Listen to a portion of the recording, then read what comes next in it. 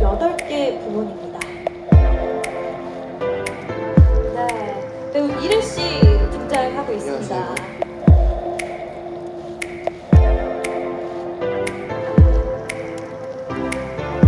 영화 반도에서 걸크러쉬한 매력으로 관객들